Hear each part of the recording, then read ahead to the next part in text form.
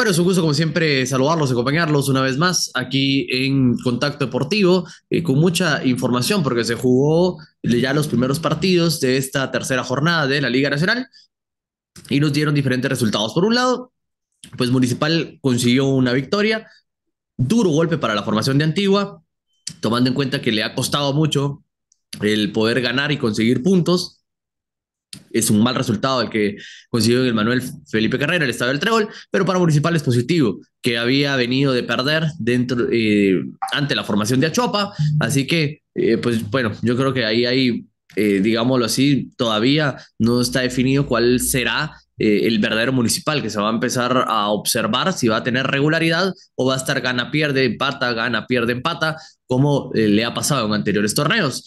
por otro lado, se dio eh, también el partido de comunicaciones en la noche, que es llamativo por el resultado, eh, un empate, el gol de Lainer García, que para rescatar y para poder conseguir el empate eh, me parece muy bueno, es un gol espectacular, a mi parecer, de, de, chilena, y creo que le termina de dar confianza eh, a comunicaciones de cara al partido internacional que va a tener en este caso frente a Monterrey el próximo martes. Así que eh, creo que ha sido un buen resultado dentro de todo y un Cobán Imperial que llegó a intentar quedarse con los tres puntos, arranca ganando, pero que finalmente se un empate que para Cobán en condición de visita no es del todo malo. todavía empató con Misco, me sorprendió ese 0 a 0, debo mencionar, que esperaba más de la formación eh, de Guastatoya. Sin embargo, creo que el, em, el, empate es el reflejo de que este Guastatoya está siendo relativamente irregular. Eh, hay que recordar que en la primera jornada perdió y muy feo ante Municipal,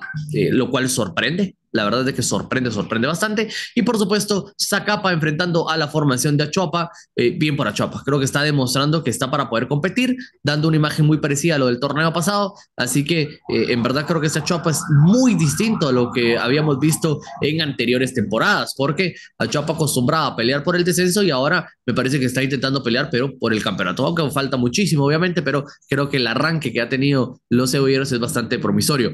No sé qué le ha llamado más la atención, Gustavo, si la victoria de Municipal o, que perdió la formación de Antigua u otro partido más, el empate de comunicaciones con Cobán, o bien pues que Achuapa haya logrado ganar en, eh, la, eh, en la tierra eh, de Zacapa. ¿Cómo está? Bien, José Pablo, espero que igual, aunque tu tosecita ahí está algo rebelde en cuanto a superarla plenamente. importante, yo valoro el esfuerzo del chico eh, que está tratando de mantener con diferente técnico, me refiero a Chopapa, porque los cebolleros eh, ganaron en casa a Municipal con un sólido 2 a 0 que en juego pudo ser mayor, eh, o sea, un marcador más amplio, y ahora expugnan la cancha de Zacapa, donde el cuadro gallo se quedó otra vez como pollo porque lo había goleado Guastatoya con una media docena y ahora perdió por la mínima, pero en su reducto hay una anotación de Elíser Quiñones que si uno analiza, José Pablo, el trío de hombres ofensivos, no jugó uno de ellos por estar suspendido, ni jugará el siguiente partido por esa misma razón. No, y ahí eh, cubrirá, porque eso fue en el primer juego su expulsión. Me refiero a, al, Cookie Lemus, pero lo junta con quien estuvo con ustedes en, contacto deportivo. Ayer me refiero a Luis eh, Froilán Tunches, y Elíser Quiñones es una trilogía de hombres ofensivos interesantísima y aparte productiva para la formación naranja. Entonces yo resalto primero eso. Después, eh, cómo pudo regresar comunicaciones sin algunas de sus piezas fundamentales como José Manuel Contreras para eh, manejar el juego y Anangonó para hacer daño a los pórticos adversarios directamente o en apoyo a sus compañeros. Lo de Cobán, destacado también porque la formación imperial parece muy distinta, muy distinta a la que eh, estuvo a mal traer y ni siquiera clasificó. Y de entrada para este torneo había quedado en una situación comprometida en el aspecto de los puntos. Pero de 18 que ingresó al certamen, más los 7 que eh, ha conseguido de entrada, y muy cerca de llegar a pleno de 9, ya tiene una cuota de 25, entonces hay un verdadero respiro para Adrián García Arias y, el desarrollo de su proyecto.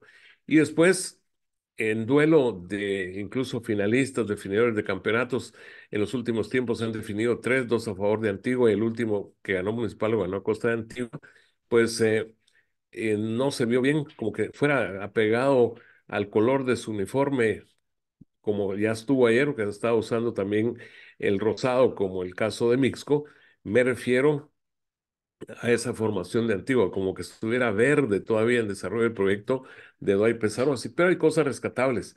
Y dentro de ellos, no sé, José Pablo, ¿qué te parece ya el debut en Liga Nacional y con asistencia incluida eh, como hombre relevo de Marvin Ávila Jr., que asistió a Romario da Silva para lo que en su momento fue el, el 1-2, que seguía ganando Municipal, y luego pues cosas que tiene este deporte o cualquiera, la que dice no hay peor cuña que la del mismo palo que con Antonio Mena concretó el 3-1 y alejó definitivamente a los rojos. Aparte de volver al gol por partida doble en el caso de Rotondi, pero en, esencia ese debut a sus 16 primaveras de el retoño de Marvin Tomás.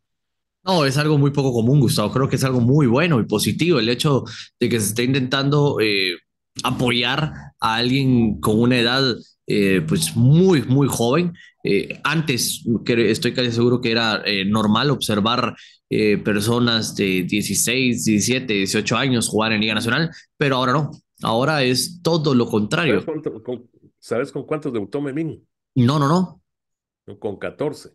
Sí, no, imagínese eso. Y, Julio Gómez, que ya lo conoces también, con 15, para darte un par de ejemplos. Así todavía atrás de la edad de Marvin.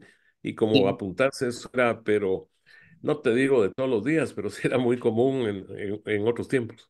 Sí, hoy, hoy en día ya no es así. De hecho, hoy, hoy en día, lastimosamente, pues lo más normal es que debuten a los 20, 22 años e incluso se habla de que a esa edad son los jóvenes, las, futuras promesas, ¿verdad? Del fútbol nacional. Pero bueno, eh, yo creo que eh, Marvin es alguien que ha demostrado que tiene mucho talento, mucha calidad, hay que llevarlo de menos a más, eh, me parece, y él va a ir adquiriendo esa madurez deportiva que necesita para poder ser una pieza clave, trascendental, al final a nivel de selección y por supuesto a nivel de liga. Creo que tiene que consolidarse, pero hay que llevarlo poco a poco. Lo que sí es cierto es que el talento lo tiene y ha demostrado de que tiene un futuro bastante, bastante eh, prometedor, Gustavo.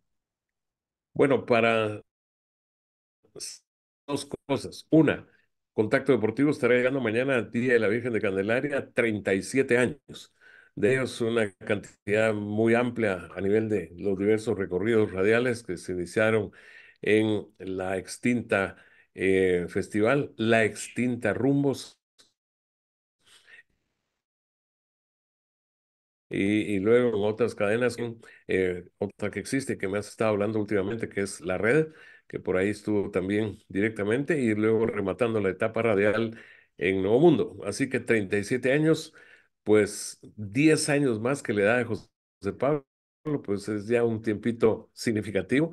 Y lo otro es, eh, ¿qué pensás de ese cruce Sheshi, Shela, Shinabajul empatados a 19 puntos por un lado y el de Malacateco contra el colerazo Coatepeque como cierre de esta fecha 3?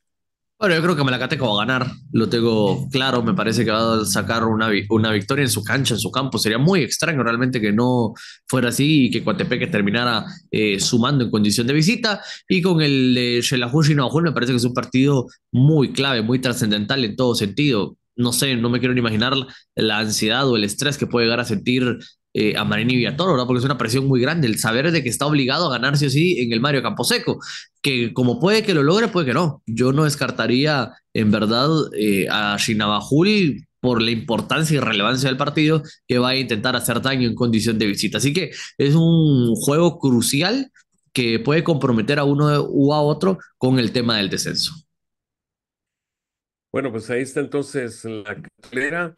Y desde luego estaremos de vuelta mañana para platicarles incluso de la Liga Española, que tendrá en unos minutitos nada más ya el cierre de la jornada 20 con la repesca de resultados. Barcelona 1-0 a Osasuna, eh, Atlético Madrid 2-1 a Vallecano y lo que hoy se va a producir en la cancha del equipo Azulón, como se le conoce al Getafe, recibiendo al Real Madrid, que en caso de victoria tomaría por puntuación eh, solo el primer lugar de la tabla de la Liga Española. Así que Gusto saludarles y hasta mañana.